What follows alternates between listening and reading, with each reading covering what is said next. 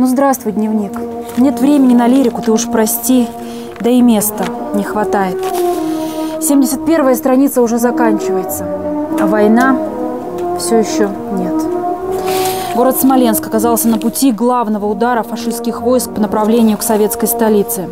В 43-м именно туда был отправлен ефрейтор Морозов из Забайкалья. Уже позже судьба занесла его на Курскую дугу, а затем и под Москву. Константин Николаевич Морозов погиб в 43-м. Он мечтал увидеть мирное небо и собственных правнуков. Сам не успел.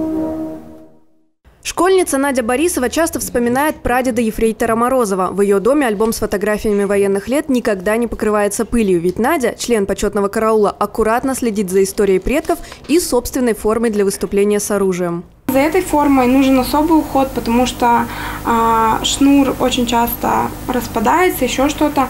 Э, ее мы гладим постоянно.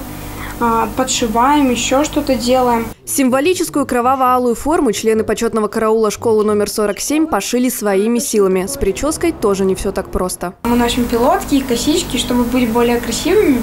У нас есть бантики. Они сделаны на заказ, они пышные. Пока Надя готовится к выступлению, многие забайкальцы к обеду. Запах гречневой каши быстро расходится по мемориалу боевой и трудовой славы. В День Победы дети осваивают реактивный миномет «Катюша». Взрослые возлагают венки к вечному огню.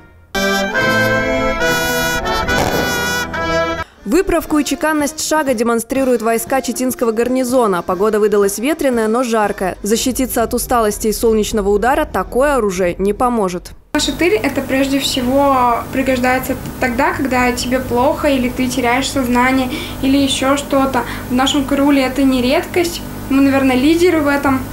Вот, и это обязательно элемент в нашей аптечке. Вооружившись нашатырем и саблей, члены почетного караула 47-й школы выходят под прицел сотен пар глаз.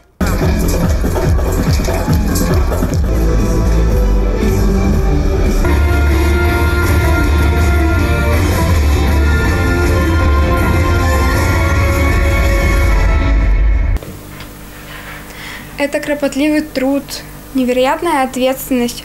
Некоторые девочки теряют балетки, падают пилотки, фуражки, а, кто-то теряет сознание.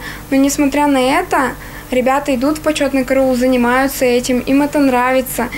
И ради этого, я думаю, стоит жить. Наталья Аршинская, Максим Лобачев, Евгений Погорелый, ЗАП.